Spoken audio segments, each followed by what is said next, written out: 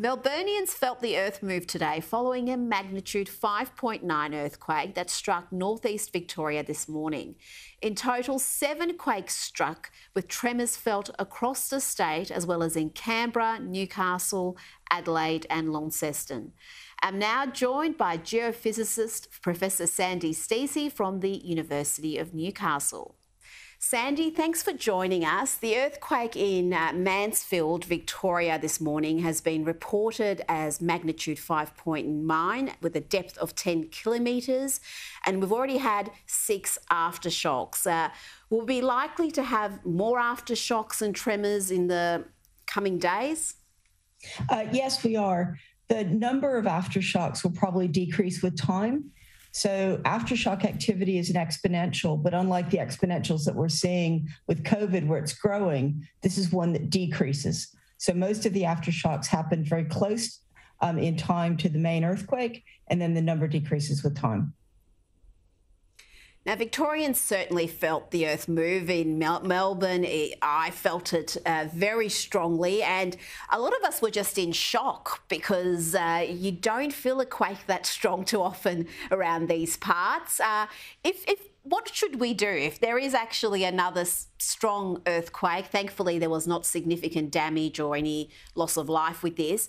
Is it best to run to a door frame or go outside? What's what's the thing to do if you are if you uh, feel the earth move? So the best thing to do is to stay inside until the shaking stops.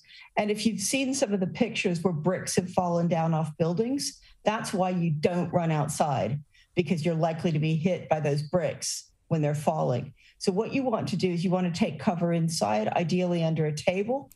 Door frames aren't great because the problem is that the door might slam shut either into your nose, break your fingers, something like that. So, get under a sturdy piece of furniture and wait till it stops. And is there a way to predict this sort of seismic activity? Is there any way to have any forewarning, or is that something that's being developed down the track? Yeah, so so to an earthquake scientist, prediction means a certain time and a magnitude. So, for example, next Tuesday at two o'clock, we'll have a magnitude six. We can't do that, and we'll never be able to do that. What we can do is is understand seismic hazard. And so this earthquake actually occurred in an area of known seismic hazard in Australia. And we're mm. getting better at looking at probabilistic seismic hazard. In other words, once an earthquake's happened, what is the likelihood of another earthquake occurring? Professor, this quake was felt in Victoria, particularly in Melbourne. The epicenter was in Mansfield, and it was felt as far as Newcastle. But people in Sydney weren't impacted. How, how does that happen?